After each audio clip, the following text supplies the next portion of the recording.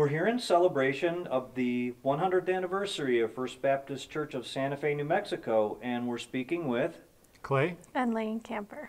Hello there. How are you doing today? Fine, thank Good. you. Um, when did you uh, first become a member of First Baptist Church of Santa Fe? In May 2014.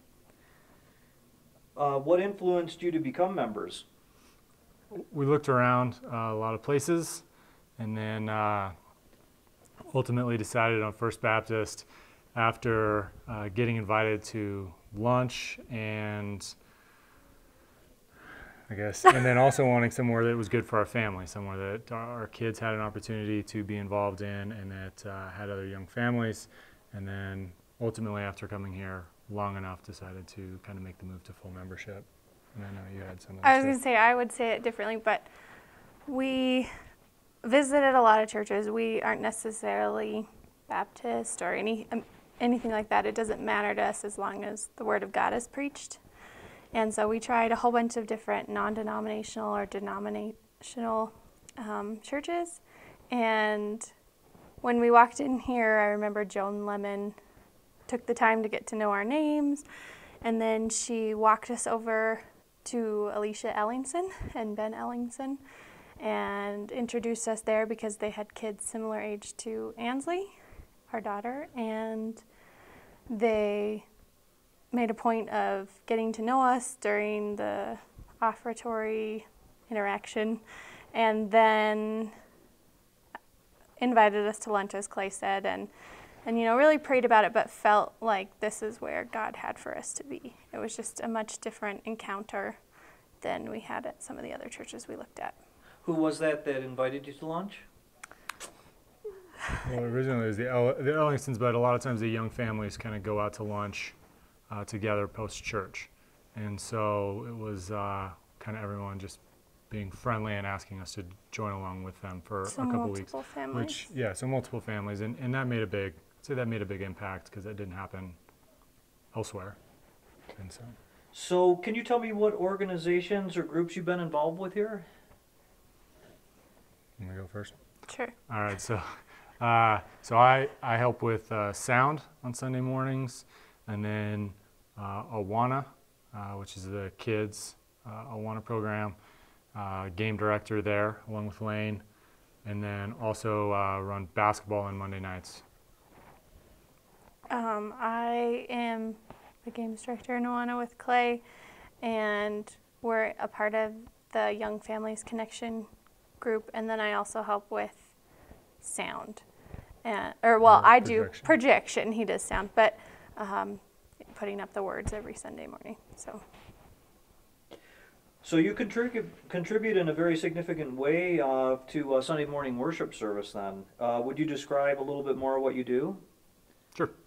Uh, so, so sound uh, sounds pretty basic. We we work with a soundboard in the back, and it's just making sure and helping out uh, to make sure everyone's mics are turned on, uh, turn on the band when they're supposed to be on, adjust volumes. Uh, if things start squeaking, try to find out the source of it.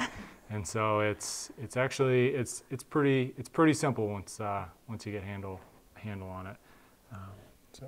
and then projection, like I said, we put up the words to the songs and the sermon, and then any offertory video or slideshow that's run by us in the computer. Although you haven't been here for very long, how do you see God's purpose fulfilled in First Baptist Church in the last 100 years?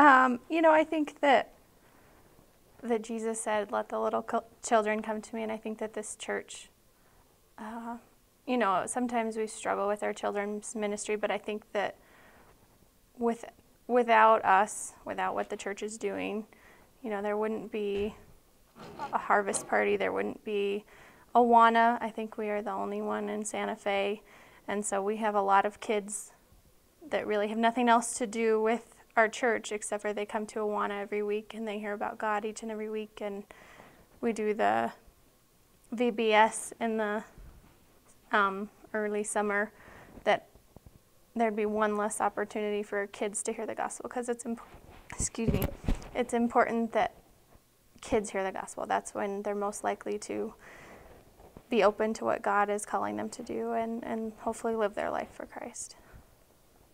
Yeah, I would echo that. I think, you know, obviously we have kids five and two, so It's a big, uh, obviously, I guess it's a video.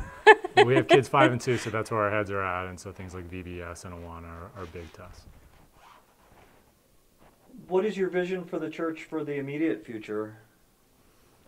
I know, I, you know, in an ideal world, I think, you know, again, biased as a young family, I think we, we would love to see more young families come and participate in the church and find a home here and find Christ if they haven't already and get their kids involved in those activities and in the normal Sunday schools uh, available here to the church. And so I think, I think we have a, I mean, we have all the necessary facilities and all the, the, the things set up. I think now uh, we just need to put in the work and hopefully, hopefully be a, a very vibrant, um, a, a- a vibrant church full of uh, welcoming, welcoming young adults and young families.